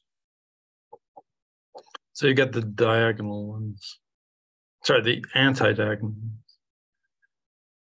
ones. Well, the, we get a checkerboard inside the chessboard, Oh, wow. Completely mm-hmm. confused. isn't that right? I hope I'm, I hope I'm not that badly confused.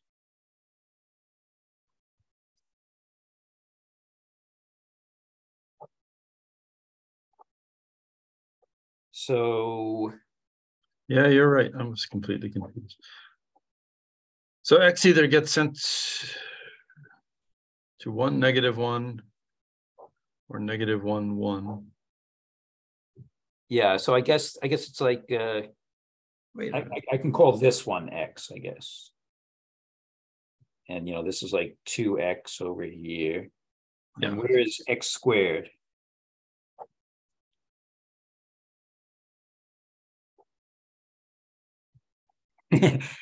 Are we gonna get the whole checkerboard? yes,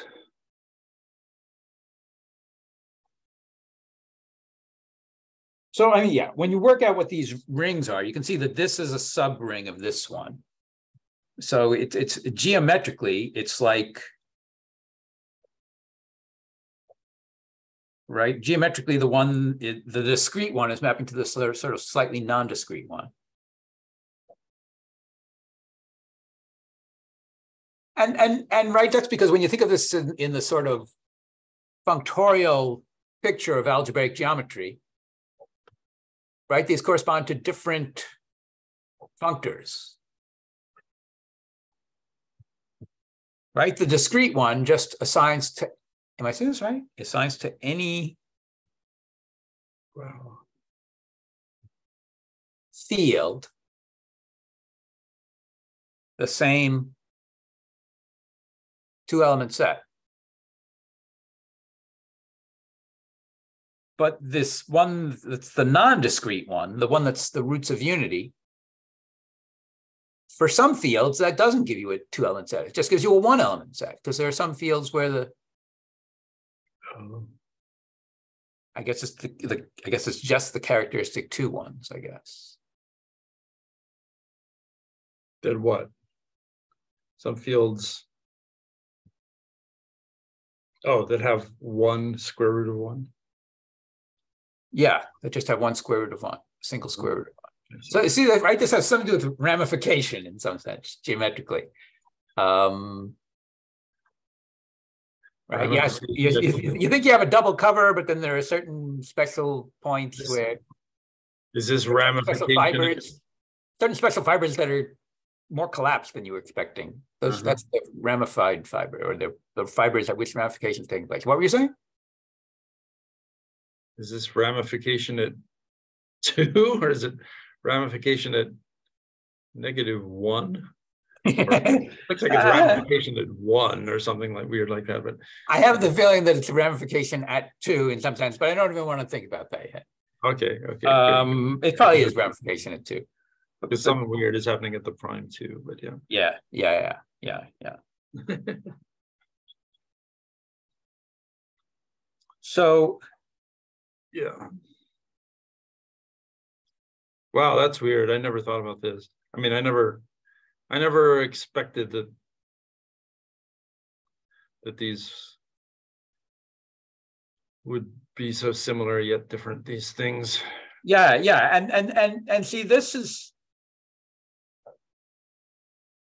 see, this is saying right. This is the reason for all those weird factors, weird factors of one half in like the Hadamard transform or something. What am I trying to say? It's like right. This is this is like we're doing like Fourier analysis with respect to the finite abelian group Z mod two. And what am I trying to say? That what am I trying to say? See.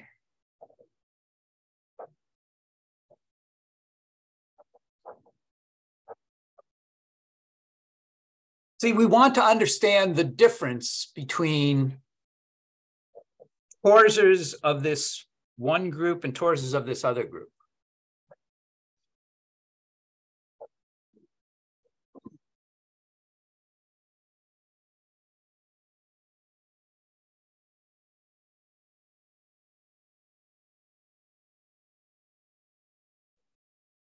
And, you know, we're, we're gonna, when we eventually understand this or try to understand, this, we're gonna, you know, we're gonna be thinking about these torsors in an algebraic geometric geometric way. These are algebra, you know, al these are algebrogeometric torsors that we're talking about here. So we have various ways that we can try to understand what this concept of an algebraic geomet algebrogeometric torsor is. I mean, w- you know, you can you can you can think about it in the functorial way. You can also just think about it in a sort of See, at this point, we're only dealing with affine algebraic groups. So you can just think of it in terms of, you know, affine algebraic geometry, which is really just commutative algebra turned Yep. upside down. So, um, you know, you can think of it in the functorial way, but that's a little bit overkill for these purposes. You can just think of it in terms of commutative algebra. But there's another way, which is also overkill, but it's a very interesting kind of overkill, and that's, you know, the um, the whole theory of algebrogeometric theories, the sort of doctrine-based way of thinking, you know, thinking th- th- thinking that, you know, there are these two rigs instead of commutative rings. Um, and, and we're going to try to understand it in all of these ways. But so what am I trying to say? That see, like a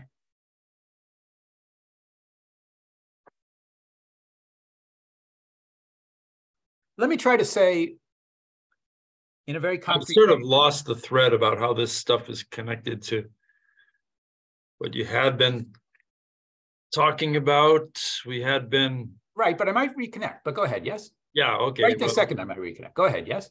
Okay, well, anyways, just as long as you know that you sort of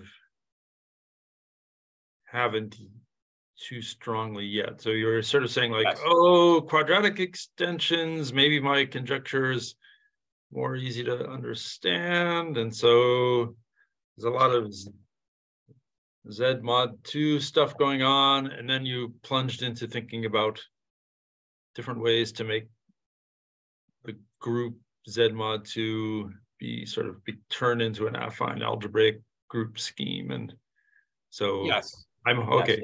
So, okay, that's where I am. So I'm hoping that like one of those is gonna give one thing when you apply it to this other stuff and. Yeah. Something like that. Something like that. So let's let, let me try to say in a fairly concrete way what the difference is between the torsors of these two groups. So, and, and again, uh, and, and, and perhaps we're thinking of this in a sort of, again, you should think of all these viewpoints at the same time, but maybe at the moment, I'm thinking in the functorial way, just for the moment. So in other words, you know, in the functorial picture, we specify a particular commutative ring, and then we say that what are the, you know, what is the functor evaluated at that particular commutative ring? Uh-huh. So um, uh, a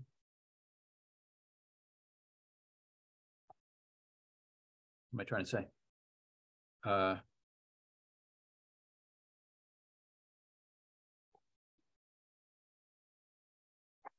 yeah, I still don't understand how this thing works. Uh, I'm I'm trying to say that uh,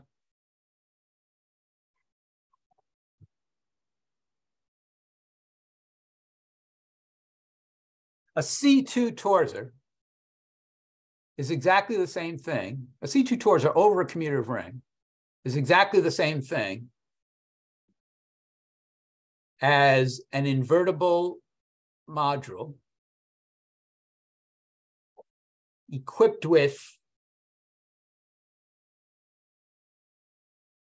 an isomorphism from its tensor square to the tensor unit.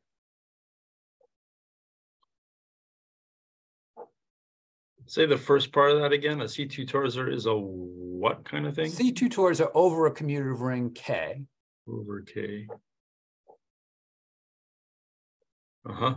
Is a an invertible module equipped with an isomorphism from its tensor square to the tensor unit. In fact, okay. or I guess you could say it another way. You could say that it's a Z. I, I hope what I just said is. So you don't need to say invertible module, right? Because it's you. I guess that's true. I guess that's no inverse. Yeah. Uh-huh. But another way you could say it is that I hope I, I, I'm not sure exactly how much fine print I'll need in this second one, but let me try to say it in another way. It's a commutative algebra a Z, mod 2 graded commutative algebra over your commutative ring with certain special properties. And I guess those special properties would be that each grade should be an invertible module. And maybe that's all you need.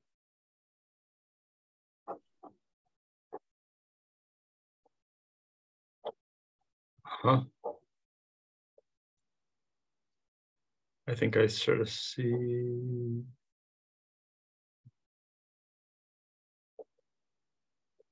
I think I sort of see that. Hmm. I'm not sure. I mean, the one grade, the non-trivial grade yeah. invertible module, that is the module you were talking about before, right? The one whose square was the. Yes, that's right. That's right. That's right. That's right. Don't you need the zero grade guy to be the trivial invertible module? Uh, I think that's automatic, actually. Um, a, you know, an invertible module. Oh, because it's Z mod 2 graded commutative algebra over K. Yeah. So.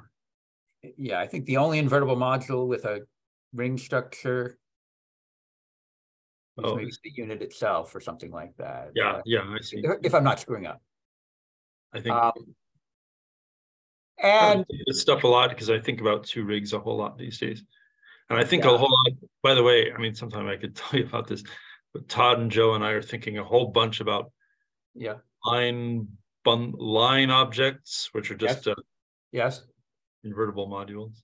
And yeah, also I've done an enormous amount of thinking about that over the last decades, but go ahead. Yes. Go well, ahead. Yeah, and also subline objects, which you've probably also thought about, which well the sub subline, yes. Yeah, so like an even subline object is one whose exterior square is zero. So it could be like, for example, the trivial yeah. zero, the zero object is a subline object, for example.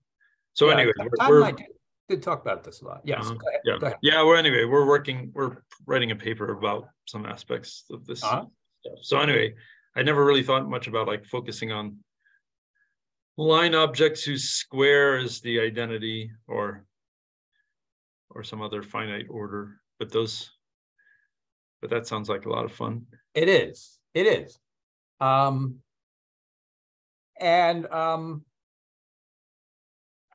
so and and now uh, you know so, so, you know we're saying we're we're saying what a torsor a c a c mod two a c sub two torsor is over an arbitrary commutative ring k.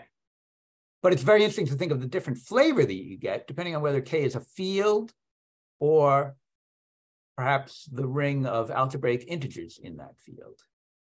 So if you're working over the field then you're not going to get any variety in the in what these invertible modules can be. You know, the field only has one invertible module over itself, which is itself. Uh-huh. So there's going to be some funny trade-off here, right? Between the way it works over field and the way it works over the algebraic integers in the field, the number field and the algebraic integers in the number field. That Mm-hmm.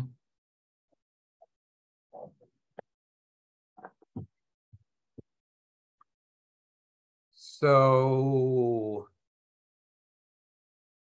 whereas, right? By the way, yeah. by the way, time is almost yes up, but on yes. but um, oh, I yes, would love, yes. I'd love to keep talking about this in the maybe in future days and yes this kind of stuff that is really up my alley. Yes. So I wouldn't mind all sorts of wonderful digressions about these types of things. Sure. Well, at the moment, let's just try to figure out what our time thing is here. Um, it's already after 4 p.m. So we just kind of wrap it up and then try to continue. I mean, that's, we're kind of leaving it hanging in the middle, but uh, we could do that if you want. Uh, if you can somehow think of a punchline to tide us over until. Uh... Yeah, or or like wrap it up in ten minutes or something like that. Uh, in some tentative, just enough to. All right, I'll try. I'll try. Continue later. Not... I'll, I'll, I'll, yeah, yeah. We can't finish everything right now, but I can. Oh, oh, okay. So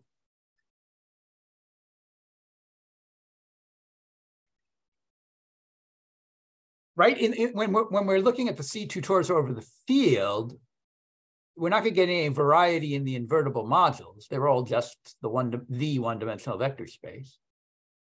But we get sort of individual personality in the choice of uh, the isomorphism. In, in the choice of the isomorphism between the tensor square and the tensor unit. Because, right, a, a, that field has a really big multiplicative group.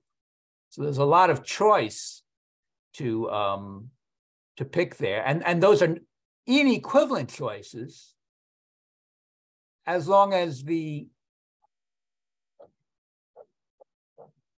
am I saying this right? As long as the, as long as there's not a square root of yes as long as there's only one square root of one well uh well no what i was saying is is that it's it's kind of like the the choices that you're getting are uh-huh. kind of like the square free elements in the field um you know the square free the square free elements in the I mean, it's really, it's it's really, it's really a quotient rather than a sub thing. It's really right. It's it's like we're taking the multiplicative group, but we're modding out by the squares. Okay, that's what I was yeah, that sounds better than what I was saying. That's what I should have been saying. So the, mm-hmm. That sounds right to me. And whereas over the ring of algebraic integers, it's it's a different flavor, right? I mean, you there you really do get choices about what the um,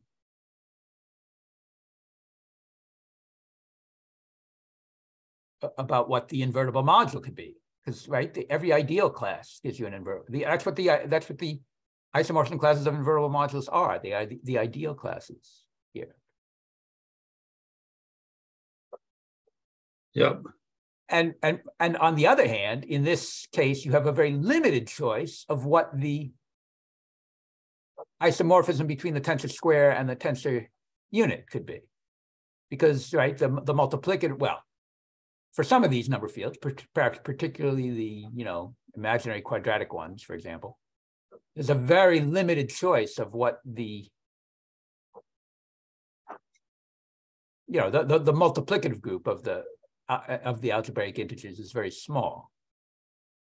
Um, so you don't and and plus you have to you know quotient out by the square ones. So you're you're ending up getting a very small choice. So you see what I'm saying? It's like uh-huh. When you're taking these C mod two torsors over the field, all the work is sort of in choosing this square free element uh, that gives you the isomorphism. Whereas when you're working over the ring of algebraic integers, most of the work is in choosing this ideal class, this ideal class of order 2 mm-hmm. So, and then the map from the number ring into the field, does that let you like, does that let you pull back a torsor from the field to one of the number ring, or is it is it contravariant that way, or is it go the other way? There should be uh, a way that you can turn a torsor from one of those guys into a torsor in the other guy, right? Yeah, yeah, yeah. Um, so which way does it go? Yeah. Uh, um, this is important to get straight, but uh, I, I okay. I, I mean, anyway. I'm not sure I can do it under pressure, but um, it, okay, never mind. important but, to think about that. Yeah, because you then that would let you compare these two different stories you're just told. Yeah, yeah. So uh, okay, and and so now one of the things that's going on here is that also when you're working over a field, then you can't see the difference between the C2 torsors and the Z mod 2 torsors. Right? Because, right, if you tensor this subring that we were talking about, if right, we have the, we have this we have this funny inclusion of a subring of an index two subring. You know, from the walking square root of unity to z squared. But but but that but but that non-isomorphism becomes invertible when you tensor it with the rationals you said field, but I guess you meant like a field that's an extension of the rationals. Yeah. Mm-hmm. Yeah. Yes. Yes. I'm sorry. Yes, that's right. Mm-hmm. Right. That's right. You need that's field right. divide by two. a number field. Yeah. yeah. A number field. Yeah. Uh-huh. Yep. That's right. Okay. That's right. Yeah. Right. Mm-hmm. So, right. I mean, these, these field spectrums, I sometimes call them like uh, voodoo spectrums or something like that, because they have all these voodoo needles stuck in them. They're, every point has been removed from the spectrum. Oh. Only the generic point, only the global generic point is left in the uh-huh. the field. And so, in other words,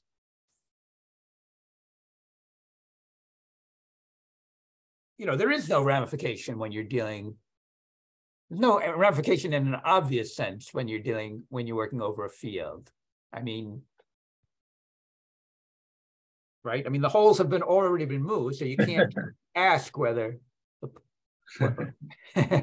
pointless to ask. Yeah, something like that. Something like that. Yeah, I'm not saying this very well, but um,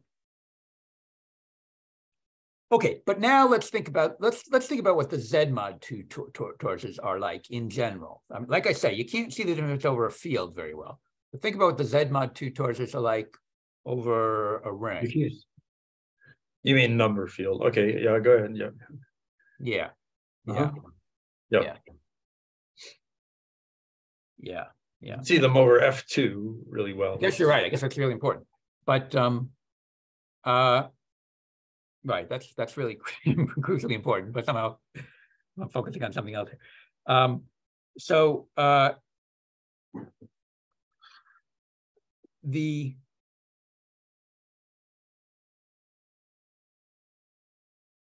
well, let's try to say concretely what a Z mod 2 torsor is, okay? So it is a two-dimensional module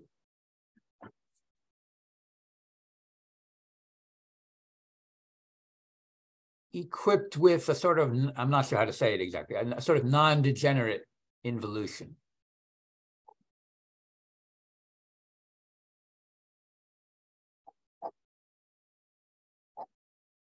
Yeah, I got to figure out better ways to say this, but um,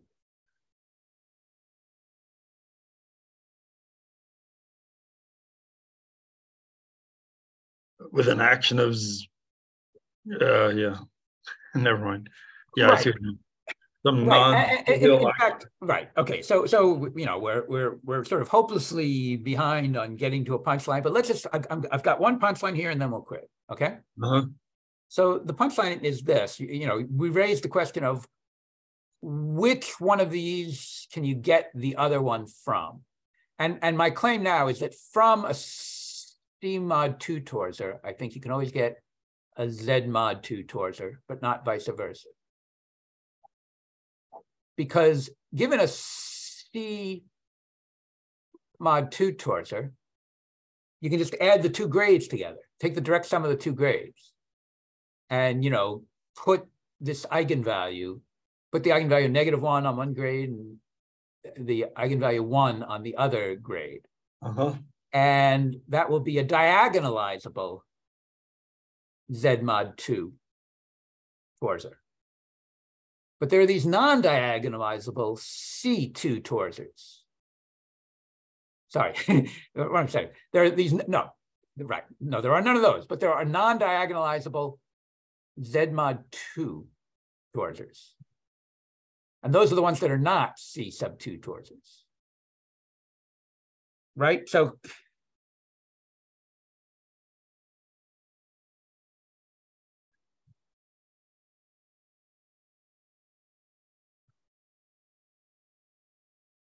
right? Like look look look at the picture I've got here, right? This subring here, right? Yep. And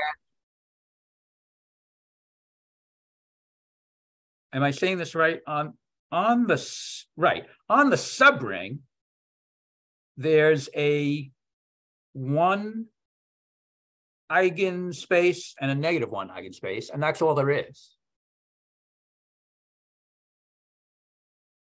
But on the whole Cartesian product thing, there is, you know, these this the opposite color of bishop thing. And those are not clearly in one eigenspace or the other. They're sort of in a twilight zone between the two eigenspaces. Yeah, uh, I'm confused. Sorry, I don't get it. I mean, isn't there like an eigenspace here and an eigenspace there? Those are eigenspaces of what? Of this Galois action, this Z mod 2 Galois action. I mean, this is the one eigenspace, the main. Oh, I'm sorry. I'm, I'm sorry. I used the wrong convention. I guess I guess X is supposed to be up here in the usual convention. So this should be the negative one eigenspace. The main diagonal should be here. Um, yeah, yeah, yeah. So am I saying that right? No, I, I guess, I, I- yeah, okay. So, right, uh, one is up there and X, right, X is on the, right, X is on the off diagonal, right, one is on the main diagonal.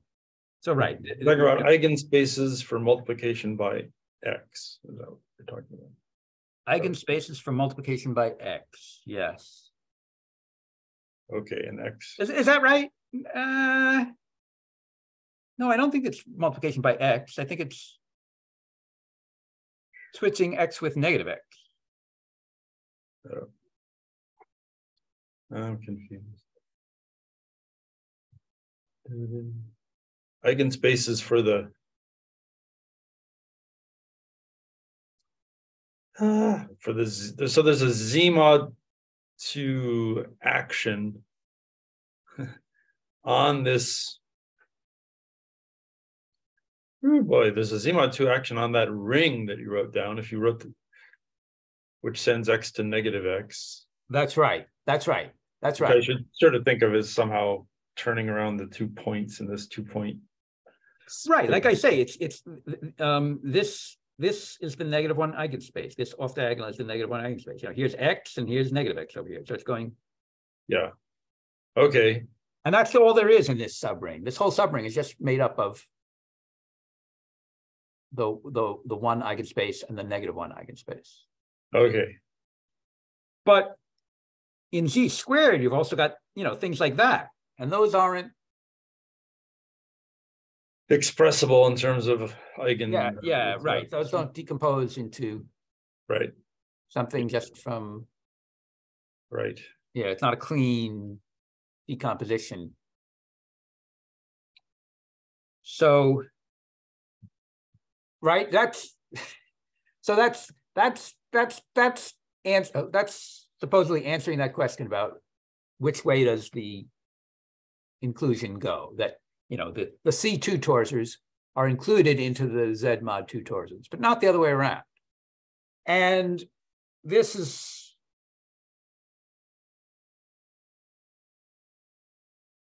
I mean, I'm just trying to quit right now. but I'm just trying to say, this is what we're going to be looking at. We're gonna be looking at these ideals. We're gonna be looking at these,